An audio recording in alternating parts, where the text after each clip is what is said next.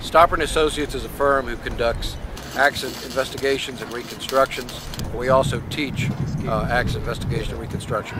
Today we're at Texas Motor Speedway and we're conducting a, a controlled crash test using uh, motorcycles and passenger vehicles.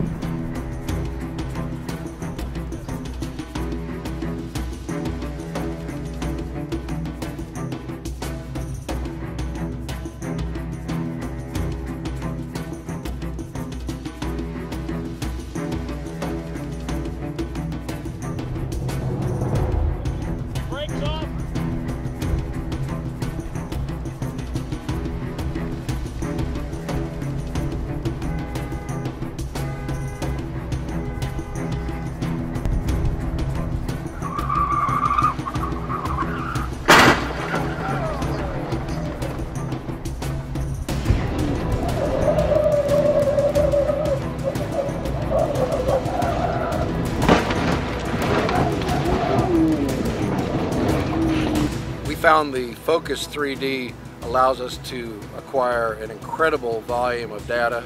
Uh, unlike using a total station where you are picking points at your discretion and then essentially connecting the dots, this is creating millions of dots. So even data that you may not have felt was important at the initial scan, you have that access to that data months, weeks, and years later. The laser scanner uh, we find not only does it acquire a great deal of data, but it does it very efficiently. Uh, it's very easy to use in the field, very easy setup, easy to transport.